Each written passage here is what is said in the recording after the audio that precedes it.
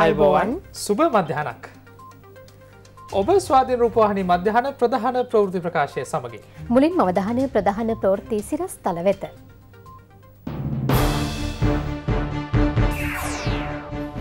තවත් අත්‍යවශ්‍ය බහන්ඩ දා හතක පාලනමිල ඉවතට. නැනෝ නයිට්‍රජන් පොහොරලීටර එක් ලක්ෂ හතලිස් පන්දහසක් දිවයිනට. අයවැයින් ඉහළ යන දුම්වැටියේ මිල. දෙමටගොඩ රුවන්ගේ තවත් වහසිගත දේපල එලියට. අදත් තද වැසි අකුණු අනතුරු ගැන කාලගුණේ අවධානයෙන්. ඉන්දියාවේ කොක්සින්ට ලෝක සෞඛ්‍යයෙන් අවසර.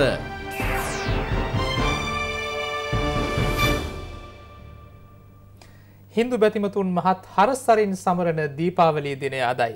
හින්දු බැතිමතුන්ගේ මහා සංස්කෘතික මංගල්‍ය ලෙසයි දීපාවලිය සැලකෙන්නේ. දීපාවලේ දින දැල්වෙන පහන් ආලෝකෙන් අවිද්‍යාව දුරු වී සියලු දෙනාට සතුට සමෘද්ධිය ලැබේවයි ජනාධිපතිතුමා සහ අගමැතිතුමාද සිය සුබපැතුම් පණිවුඩ මගින් ප්‍රාර්ථනා කර සිටිනවා. ගණතුර පලවා හැර ආලෝකයේ පතුරුවාලීම මෙන්ම අවිද්‍යාවේ අන්ධකාරය දුරුකොට ප්‍රඥාවේ ආලෝකයේ හදවත් තුළ දැල්වේවායි ප්‍රාථනා කරවෙන්. ලෝපුරා හින්දු බැතුමතුන් දීපාවලිය සමරීමට එක්ව සිටනවා. හින්දු සංස්කෘතිය ප්‍රධාන තැනක් ගන්නා. කෝලම් රටාමකින් නිවෙස් අලංකාර කර. පවුලේ සියලු දෙනා එක්ව පහන්ටල්වා. සුරයන් විසින් අසුරයන් පැරදවීම සේපත් කරමින්. දෙවියන් උදසහ පුද පූජා පැවැත්වීම දීපාවලියේදී සිදුවනවා. මේ අතර සුභපැතුම් පණිවිඩයක් නිකුත් කරන ජනාධිපති ගෝටාපේ රාජපක්ෂ මැතිතුමා දීපාවලි මංකල්ලය සමඟ විශ්වයට ප්‍රවේශ වන පංචායතන ශක්තියෙන් සියලු දෙනාට සතුට සමුෘතිය ධනය හා දිවීමි ශක්තිය ලැබේවායි ප්‍රාර්ථනා කරනවා. හින්දු බැතුමතුන්ගේ ආධ්‍යාත්මික උත්සවයක් සහ ඉපරැටි සංස්කෘතික මංකල්ලයක් වන දීපාවලි මංකල්ලේ මකින් අයහපත දුරුකර යහපත උදාකර ගැනීම අපේක්ෂා කරන බවයි ජනාධිපත්තුමා තවතුරටත් සඳහන් කරන්නේ. ශ්‍රී ලංකාව සමෘතිමත් ජාතියක් ලෙස දියුණුවන යහපත් අනාගතයක ආරම්භය ලෙස මෙම දීපාවලි උත්සව දිනේ උදාවේපායි අග්‍රාමාතය මහින්ද රාජපක්ෂ මහතා පවසරවා. ජාතික සමගිය සැමරීමට මේ විශිෂ්ට දිනයක් බව පවසන අග්‍රාමාතවරයා අවිද්‍යාව නැමැති අඳුරතුරු වී ආලෝකය බැබලේවායිද ප්‍රාථනා කරනවා. එම ආලෝකය නිවී යන්නට ඉඩ නොතේ ආරක්ෂා කරගන්නෑයි අග්‍රාමාතවරයා ශ්‍රී ලංකා මාතාවගේ දරුවන්කෙන් කාරුණිකව ඉල්ලා සිටනවා. අඳුර නැති කිරීමට ආලෝකය අවශ්‍යයි. ශ්‍රී ලාංකික ජනතාවගේ සියලු කරදර දුරුවී නිරෝගීව සතුටෙන් ජීවත්වීමට කාලය උදාවේවා. දීපාවලි උත්සව දිනයේදී මේ ප්‍රාර්ථනයද සමගින් ආදරි පිරුණු සිතින් පහන් දල්වමු. ஊங்கள் எல்லோருக்கும் இனிய தீபாவளி நாள் வாழ்த்துக்கள்.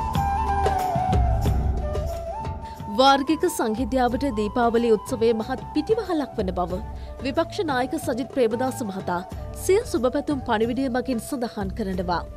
ලෝකයට නිදුක් නිරෝගී බව උදාවන දීපාවලි දිනයක් වේවායිද ඔහු ප්‍රාර්ථනා කර සිටනවා.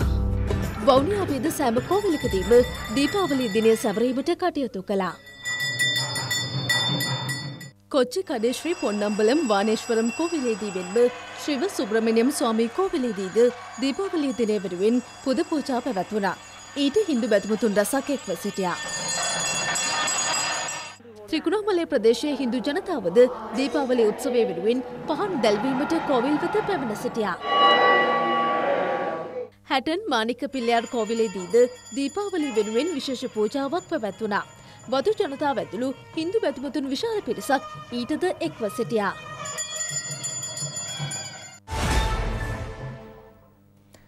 දිනාගත් සාමය ආරක්ෂා කර ගනිමින් රට සංවර්ධනය කරාගෙන යාමට සියලු දෙනා සහාය විය යුතු බව සර්ව ආගමික නායකයින් පවසනවා. දීපාවලිය දිනය නිමිත්තෙන් පැවති ස්වාධීන් රූපවාහිනියේ හත්වෙනි පැය විශේෂ වැඩසටහනේදී මෙම අදහස් පළ වුණා. පාට හත එකතුන හම තමයි දෙදුන ලස්සන. ඒ දෙදුන හසට ආපුහාම ඊට වැඩිය ලස්සනයි. ලෝකේ බහු සංස්කෘතික බහු ආගමික රටක් විදිහට ශ්‍රී ලංකාව පිළිගැනීමට ලක් වෙලා තියෙන්නේ සහ ඇගීමට ලක් වෙන්නේ මේ සමගිය එකමුතුකම සහ මේ වර්ණ දහමය නිසා. හැම සංස්කෘතික අංගයක් ඇතුළෙම තියෙන්නේ වෙන් කිරීම නෙවෙයි එක්ව එක්සිත්ව ඉස්සරහට යෑම වෙනුවෙන් වෙන පරමාර්ථයක්. තමන්ගේ මොනාද වැරදි තිබුණුත් ඔයකත් නැති වෙලා හොන්දෙට හිතලා අනිත්තාට ජීවිතයට අපි උදව් කරන්න ඕනේ අනිතාට සර්වය කරන්න ඕන මැනසගම බලන්න ඕන. දෙයෝන්ගේ ඒක ලීම අපි කරනවා. ඒවාගේ අපිට සමාර කේන්දියනවා අනිතාට මොනාරේ වැරදිවිල්ල කරනවා. ඒක ඔක්කම නැති වෙන්න ඕන. මනසගම ඒකත් අපිට ලබින්ඩ දෙයෝන්ගේ අපි ප්‍රාථන දවස තමයි අත්ත තීබාව. එක බෞද්ධාගමික වශයෙන් අපි කොහොමද ජීවිතයට බද්ධ කරගන්න ඕන. අපි දිනාගත්ත මේ සාමයට පළුද්දක් ඇති නොවනාකාරයට අපි ජාතීන් විදියට බෙදෙන් නැතුව ආගම් විදියට බෙදෙන්නේ නැතුව මේ රට අපේ රට බිම අපේ මව්බිම සියලු දෙනාම මේ රට දියුණු කරගෙන ඉදිරියට යන්නට ඕනෑ කියන හැඟීමෙන් යුක්තව ක්‍රියා කරන්නට ඕනෑ කියන අදහස අපි තුළ ඇති කරගන්නට ඕන. ස්ලාම් බැතිමතුන් විදිහට අපි කොහොම දෙකට බද්ධ වෙන්න ඕන. ආගම වශයෙන් අපි වෙන්වන්න පුළුවන්. මල් වත්තකට ගියොත් එකම රෝස මලක් තිබුණොත් ඒ වත්තක් නෙවෙයි රෝස මල වත්ත. විවිධ විවිධ මල් වර්ග තියෙනකොට තමයි ඒක මල් වත්තක් වෙන්නේ. සුද්ධව අල් කුර්ආනේ පැහැදිලි කරලා තියෙනවා. අපි ආගම අපි කොහමද ඒ රෙස්පෙක්ට් කරලා අදනවා. ඒ වගේම තමයි අනිත් ආගමත් ඒ රෙස්පෙක්ට් එක අදන්නේ අපි ඒගොල්ලන්ට ඒ රෙස්පෙක්ට් එක දෙන්න ඕනේ. එතකොට මෙතෙන්දී අපි දෙන පණිවිඩය අපිට තස්තවාදිත එපා අන්තවාදිත එපා අපි සාමකාමීව ජීවත්වෙන්න ඕන කියන ඉල්ලියම තමයි මේ රට තුළ සිටින සියලුම ජාතින්ගෙන්ම දීපාවලි දවසේ රටට මෙතන පණිවිඩේ. ක්‍රිස්තු බැතිමතුන්. ඒ ආගමික හරපද්ධතින් එක්ක හින්දු බැතිමතුන්ගේ හරපද්ධතින් ගලපගන්න ඕන කොහොමද. අපේ සිත්තුල තියෙන ආලෝකය ඇති කරගෙන ලෝකයාට බෙදාදීමේ වැදත්කම තම අද ප්‍රකාශ වෙන්ට ඕන හින්දු අය විතරක් නෙමෙයි තාව කතොලික ක්‍රස්තියාන ජනතාවත් මේකට සම්බන්ධ වෙනවා. අපේ අරමුණත් සමග ඇති කිරීමයි. ක්‍රිසුන් වහන්සේගේ ප්‍රකාශයක් තියෙනවා ඔබ ලෝකයට පහනක් වෙන්ඩ. ඒ පහනෙන් ලෝකයට ආලෝකය දෙන්න. මේක අර්ථය මොකක්ද තමන්ගේ එදිනදා ජීවිත තුළ ආලෝකමත් ජීවිතයක් ඇති කරන්නගේ. දීප කියන්නේ පහන.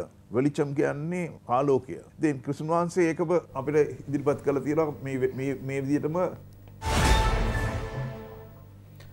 අත්‍යවශ්‍ය බහන්ඩ දාහතක උපරිම මිලසීමා ඉවත් කරමින් ගැසට් නිවේදනයක් නිකුත් කර තිබෙනවා. ඒ සමග උපරිම මිල නියම කරමින් බහන්ඩ රැසක් සඳහා මීට පෙර පනවා තිබූ ගැසට් නිවේදන හතක් අවලංගුවනවා. වෙළඳපොළ තරඟකාරීත්වය වැඩි කර ඒ තුළින් නැතිවන මිල අඩුවීමේ වාසිය පාරිභෝගිකයාට ලැබීමට සැලසීම එහි අරමුණයි. පරිප්පු සීනි ලොකුලුණු ටින් පාලු යොදය සහිත කිරිපිටි වියලිහාල් මැස්සන් අර්ථාපල් තිරිංගුපිටි කරවල පොල්, මුං ඇට, කඩල, කුකුල් මස් මෙසේ උපරිම මිල සීමා ඉවත් කළ භාණ්ඩවලට ඇතුළත් 2017 වසරේ නිකුත් කළ ගැසට් නිවේදනයකට අනුව පරිප්පු කිලෝග්‍රෑමිය රුපියල් 159ක්, ආනයනික වියලි හාල්මැස්සන් කිලෝග්‍රෑමිය රුපියල් 490ක්, මුං ඇට රුපියල් 205ක්, අර්තාපල් එකසිය පහලවක් සුදු සීනි රුපියල් එකසිය විසි දෙකක් සහ දුමුරු සීනි කිලෝග්‍රෑම් එකක් රුපියල් එකසේ විසි පහක් ලෙස උපරිම මිල සීමා නියම කර තිබුණා. කඩල කිලෝග්‍රෑම් එකක් සඳහා රුපියල් දෙසේ හැටක්ද වියලි මිරිස් කිලෝග්‍රෑම්යක් සඳහා රුපියල් තුන්සිය අසූ පහක්ද ලෙස පැවති උපරිම මිල සීමාද නව ගැසට පත්‍රය මගින් ඉවත් කර තිබෙනවා. මේ අතර ආනයනික සහල් සඳහා මෙතෙක් පනවා තිබූ බදමුදලද අඩු කර තිබෙනවා. ඒ අනුව ආනයනික සහල් කිලෝග්‍රෑම්යක් සඳහා පැවති රුපියල් හැට පහක් වන විශේෂ වෙළඳ බාණ්ඩ බද්ධ සත විසි පහක් දක්වා අඩු කිරීමටයි කටයුතු කර ඇත්තේ. මෙම සංශෝධනය මාස හයක් සඳහා වලංගු වන බවයි පාරිභෝගික සේවා අධිකාරිය පවසන්නේ. තවත් නැනෝ නයිට්‍රජන් දියර පොහොර ලීටර් එක්ලක්ෂ හතලිස් පන්දහස් එකසිය පනස් දෙකක් අද අලුයම දිවයිනට රැගෙනවා. කාබනික පොහොර බෙදාදීම රටපුරා මෙවන විට සාර්ථකව සිදුවනවා. හදිසි අවශ්‍යතාවක්සේ සලකා ජනාධිපති ගෝටාබේ රාජපක්ෂ මැතිතුමාගේ උපදෙස් පරිදි මෙම දියර පොහොර තොගේ රැගෙන වෙත් තිබෙනවා. ශ්‍රී ලංකා ගුවන් හමුදාව කළ ඉල්ලීමකට අනුව ඉන්දිය ගුවන් හමුදාවේ අනුග්‍රහයින් සහ ඉන්දිය මහකොමසාරිස් කාර්යාලයේ සම්බන්ධීකරණයෙන් දියර පොහොර තොගේ නොමිලේම ශ්‍රී ලංකාවට ගුවන් මගින් ප්‍රවාහනය කිරීමට පියවර ගැනීම විශේෂත්වයක්. මෙම නැනොනයිට්‍රජන් දියර පොහොර දිවෙන පුරා පිහිටි ගොවිජන සේවා මධ්‍යස්ථාන මගින් ගොවි ජනතාවට ලබා දීමට නියමිතයි. මේ අතර දේශීය නිෂ්පාදකයන් නිපද වූ කාබනික පොහොර ගම්පහ දිස්ත්‍රික්කයේ ගොවීන් වෙත මේ වන විටත් බෙදාහැර අවසන් කර තිබෙන බව ලක්බොහොර සමාගමේ සාමාන්‍ය අධිකාරී ප්‍රියන්ත පෙරේරා මහතා ස්වාධීන රූපවාහිනී සේවයට පැවසුවා. ගොවීන්ට අවශ්‍ය කාබනික පොහොර බෙදාදීමේ වැඩසටහනක් වැලිගම ප්‍රාදේශීය සභා ශ්‍රවණාගාරයේදී පැවැත්වුණා. ඒ ප්‍රාදේශීය සභාවේ සභාපති පුෂ්පකුමාර බැට්ටගේ මහතාගේ ප්‍රධානත්වයෙන්. දකුණු පළාත් ප්‍රධාන ලේකම් ආරසි සොයිසා මහතාද මෙම අවස්ථාවට සහභාගී වුණා. මම දැනට වී වර්ග පහක හයක වගේ දේශීය වී වගා කරනවා. එක එක ලෙඩ රෝග තියෙන කාණ්ඩේ ගොඩාක් ඇවිල්ලා ඒව අරගෙන ඒවයින් රෝග නිවාරණය වෙච්ච කාණ්ඩේ කතා කරනවා. ඒක නිසා මම කියන්නේ මේ කාබනික පොහොර ව්‍යාපෘතිය බොහොම හොඳ දෙයක් කියලා. මම හැම ගොවි මහත්තයෙකුටම කියනවා මේ රසායනික පොහොර වලින් අයින් වෙලා ඉදිරි પરම්පරාව ගැන හිතලා කාබනික පොහොර වලට යොමු වෙලා මේ වස විසෙන් තොර ආහාර වේලක් නිෂ්පාදනය කරගන්න උදව් උපකාර කරන්න කියලා කන්තලේ ගොවි පවුල් අටදහසකට පොහොර බෙදාදීම සිදු කෙරුණා. කන්තලේ ජලාශය යටතේ මෙවර වගා කටයුතු සඳහා අක්කර විසි දෙදහසකට ජලය මුදා හැරියා. කන්තලේ ව්‍යාපාරය යටතේ ගොවිතැන් කටයුතු මේ වන විට ආරම්භ කර තිබෙනවා. කාබනික පොහොර භාවිතයෙන් වගා කිරීම සඳහා කුරුදු පෙර ලක්ෂ හයක් ගොවි ජනතාව වෙත ලබාදීම නිවිතිගල නිරියල්ල ප්‍රදේශයේදී සිදු කෙරුණා. ඒ රාජ්‍ය අමාත්‍ය ජානක වක්කුමුරු මහතාගේ ප්‍රධානත්වයෙන් කුඩා වැවිලිබෝග වගා සංවර්ධන ආශ්‍රිත කර්මාන්ත සහ අපනයන ප්‍රවර්ධන රාජ්‍ය අමාත්‍යංශය මගින් ක්‍රියාත්මක කරන අපනයන කෘෂි කලාප ජාතික වැඩසටහනට සමගාමීවයි මෙය ක්‍රියාත්මක කෙරුණේ. මේ අතර කාබනික පොහොර භාවිතය සහ රසායනික පොහොර ගැටලුව පිළිබඳ මහජන නියෝජිතයින් ඇතුළු සමාජයේ විවිධ පාර්ශව අදහස් රැසක් පළ කරනවා. ආපානාන්දෝ කාලේ කෘෂි කර්මාන්තය කියන්නේ මේ රටට අවශ්‍ය දෙයක් හැටියට නෙමෙයි දැක්කේ. හිටපු ඇමතිවරු අපේ රටේ මේ නිෂ්පාදනය කරන්න ඕනේ ඉන්දියාවෙන් හාල් ගේන්න පුළුවන් කියලා කිව්වා.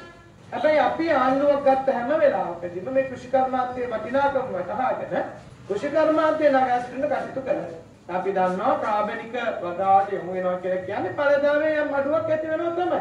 ඒතර කාබනික පොහොර සම්පූර්ණයෙන් 100% බඩ තුන නිෂ්පාදනය කරන්න එක මාස පහකින් බැහැ තමයි. හැබැයි අපි මේකට ආරම්භයක් තියන්න ඕනේ අපි රටක් ඇටියට අපි මේකට ආරම්භයක් තියන්න ඕන. අපේ දරුපිටව ටික අපි ආරක්ෂා කරගන්න කල්පනා කරනවා නම් මේකට ආරම්භයක් තියන්න ඕන.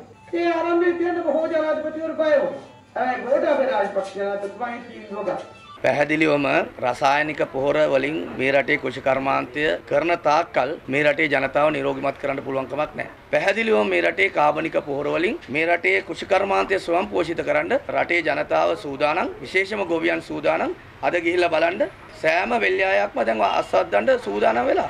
ගොඩක් අය වපුරලත් ඉවරයි. ඉතින් සුළු පිරිසක් තමයි කෑ ගන්න. ඒ අයගේ මේ මතයට අහුම්කන් දීලා මේ රටේ ජනතාව විනාශ කරන්න අපි සූදානම් නැහැ. ඊය දවසේදී අලුතෙන් පන්සිය අසූ එක් දෙනෙකු හඳුනාගත්තා. ඒත් සමගම ප්‍රතිකාර ලබන පිරිසද තරමක් ඉහළ ගියා. එන්නත් කරන වැඩසටහනද තවදුරටත් සාර්ථකව ක්‍රියාත්මක වනවා.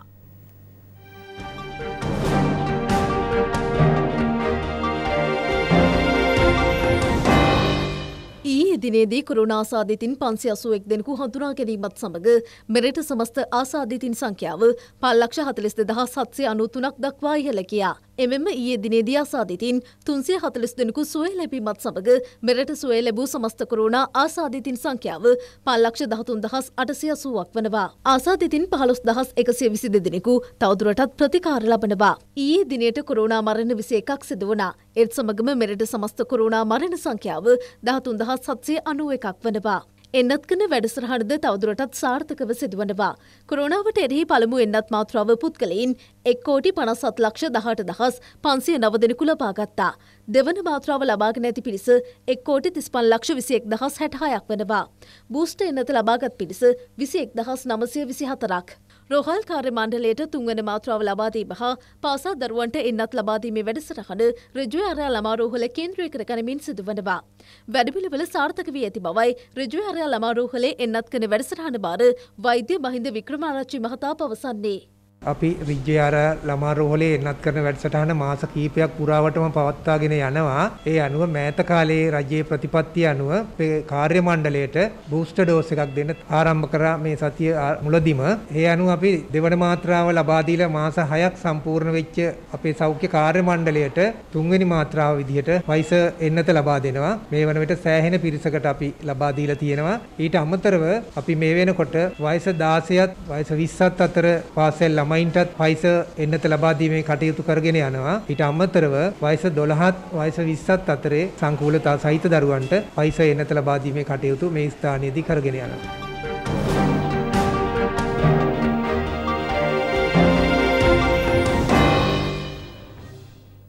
මහා පරිමාණ මද්‍රව්‍ය ජාවාරම්කරයෙකු බව කියන දෙමටකොඩ රුවන් යන අයට අයත් තවත් වාහන කිහිපයක් අත්අඩංගුවටගෙන තිබෙනවා. රුපියල් ලක්ෂ 200කට වඩා වටිනා රෑන් රෝවර් ජීප් රථයක් සහ ලක්ෂ 70කට ආසන්න වටිනාකමකින් යුත් වෙසල් වර්ගයේ ජීප් රථයක්ද ඒ අතර වන බවයි පොලිසිය පවසන්නේ.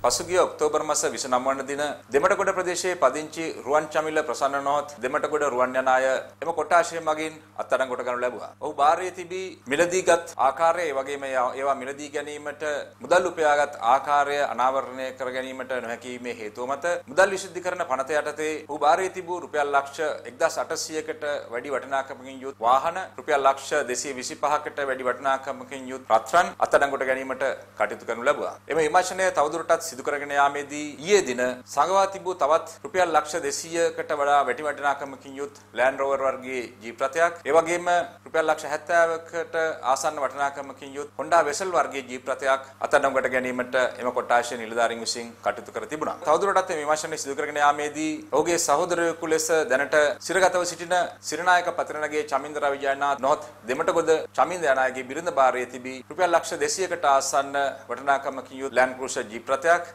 ඒ වගේම වටිනාකම අනාවරණය නොවු BMW වර්ගයේ කාර් රථයක් අත්අඩංගුවට ගැනීමට කටයුතු කරනු ලැබුවා. මෙම කාන්තාව දැනට බොරැල්ල ප්‍රදේශයේ රාත්‍රී සමාජ ශාලාවක් පවත්වාගෙන යන බවට අනාවරණය වනවා. ඒ පිළිබඳව තවදුරටත් විමර්ශන කටයුතු එම කොට්ටාශය මගින් සිදු කිරීමට නියමිතයි.